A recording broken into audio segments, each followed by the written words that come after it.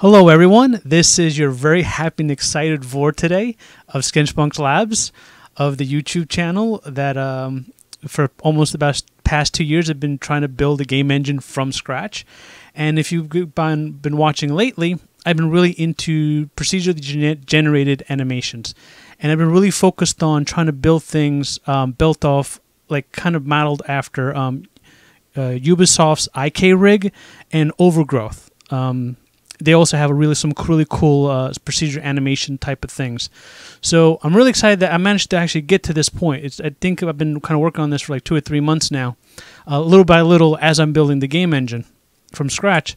And here we go. We have an, a working prototype of IK Rigs, uh, essentially the beginning stages of it, really.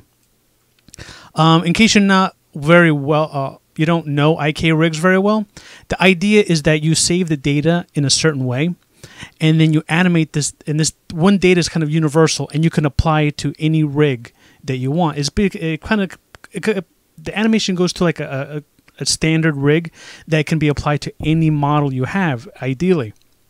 So the idea is you build one animation and it'll work for anything. And the animation is written in a way that you can add rules to it and tweak it and everything else without actually have to reanimate everything. And this is like this is this is like a simple walk uh, cycle that I, I, put together with my own like little motor engine. And it's it's a, just one animation, and I'm applying it to two separate um, IK chains. So, like here in the here's like in this example, that centerpiece is the actual data. It's a direction and a length.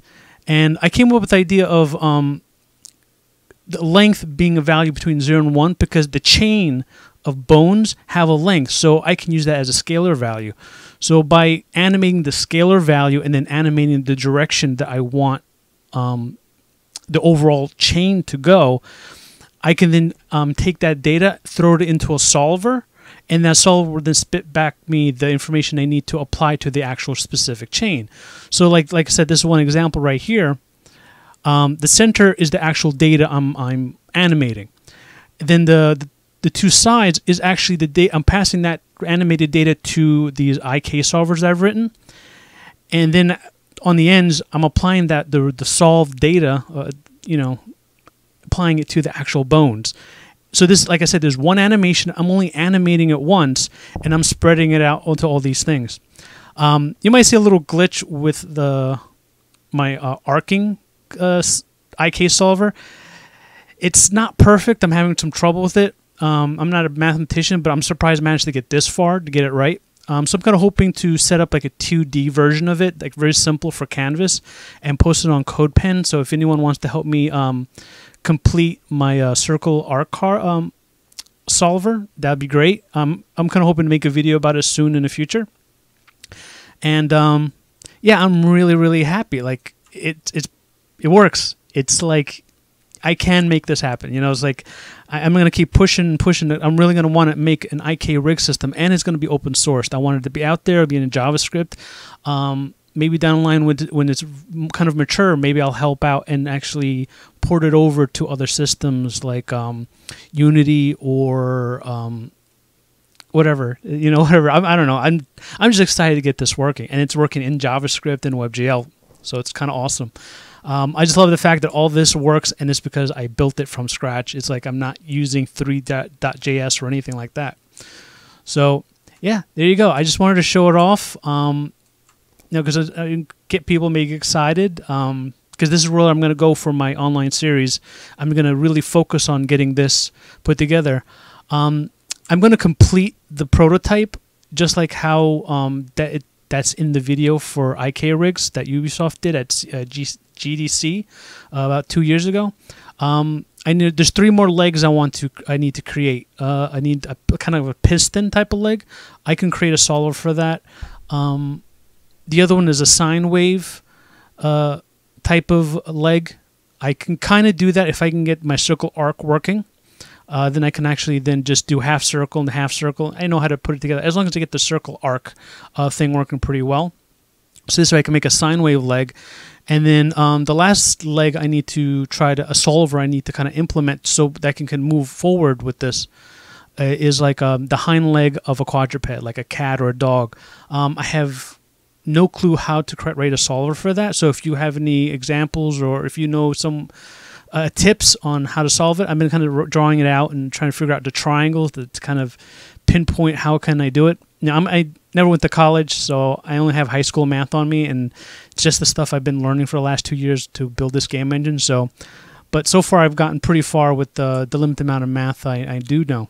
So, um, just to show you guys, if you if you're curious about the circle arc, um, it does work. Um, it does, like I said, it does work pretty well. It's just over. It goes over the the target. Um, when it gets close to the the minimum and the maximum amount of the circle, it, it, the the actual end target and the actual target kind of get close together. So I'm having problems. I'm using arc lengths, and um, it's a bunch of math I found online, like here and there, and kind of just trying to mash it together and make it sense. So essentially, I'm just trying to calculate the arc and try to make it match um, the chord. It's the chord is the the space be, between it's the distance between point the, the two endpoints. So I need I need the two endpoints to match perfectly, and that's where I'm having problems getting the arc length and everything kind of aligned exactly perfectly. Like I need the points to be exactly from point A to point um, Z. Um, like I said, the red dot is really the point I really want to be at, but that last point is is so off. But like I said, I'm you know the arc length, the, the, the math is most it's mostly working. It does work. It does fold in right, correctly. It just I just can't get it to target correct perfectly. So once I can get it target correctly, then um it it'll work. For, I can do a lot more things with it. Um, it'll fix this problem here. Um, but yeah, this is this is great. I love it. Um, I don't want to spend too. I don't want to make this video too long uh, and talking about it. Um, the source code will come out when I'm done with it. Um, yeah, I'm I'm just really excited. This is great. I'm, you know, I thought it was going to take me a couple more weeks before I got got this far, but I managed to push through today, and today just had a really good coding day, and um, here it is. I just wanted to show it off, and uh, yeah, um, like I said, need help with uh, the arc and maybe figuring out what to do with a hind leg solver or any other solvers. If you guys have any other cool, cool solvers, um, I've already done a, a, video tutorial on a couple solvers, like um, the the the limb solver is like, like right on is right on the, right on the spot. Like the red dot doesn't show up. So it's it hits the spot where it needs to do. So it works great. So I got, at least got arms and legs working good. Like I said, I just need hind legs for animals because I want to do some quadruped stuff. And um, once I get some of this working a little bit, I want to definitely do one like a robot, uh, like a spider bot, and have it like walk around um, procedurally, uh, like no anim, uh, like no predefined animations. Well, there's some predefined, but yeah, I don't know.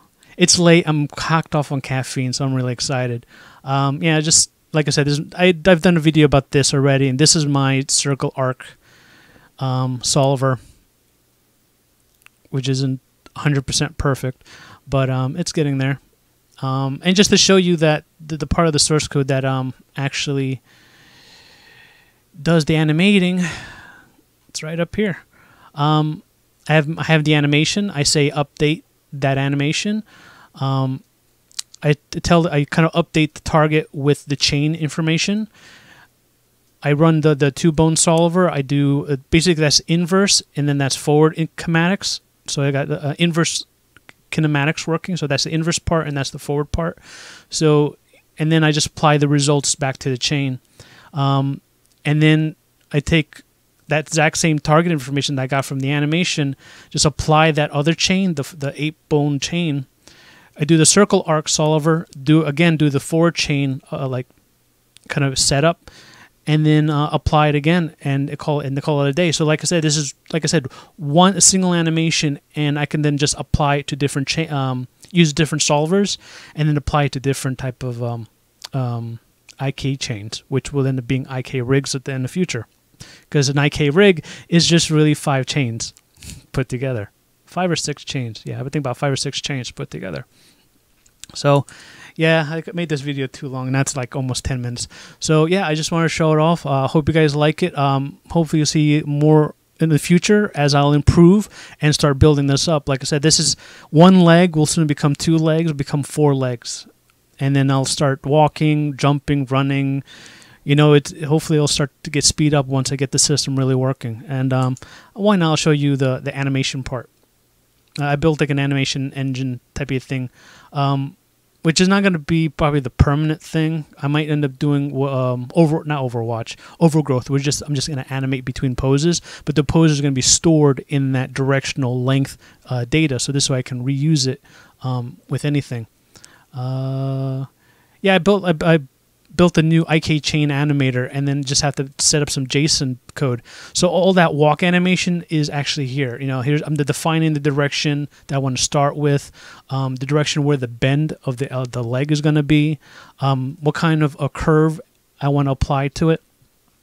Um, what uh, it's I'm kind of using kind of like a, this kind of like a motor code I wrote together, and just tell me like at what point of the cycle do I want to start at? But this is going to start at zero cycle, this is the axis of rotation, how much to rotate in the beginning, how much to rotate at the very end. And then scale is that length that actually allows me to apply it to the chain solvers to kind of get everything. So yeah, like I kind of basically built an animator with just small bits of configuration and this is pretty much a walk cycle. So all I have to do is apply this with um, a half cycle offset and then I can actually do a walk animations. I've done this before in forward animation, but now I'm kind of doing this kind of in an IK-ish kind of way. So, um, yeah, uh, yeah. Like I said, all this code will be out in uh, maybe in a month or so when I get it really cleaned up and working really well. So, yeah, now it's up to 12 minutes. Let me end this video. See you guys next time.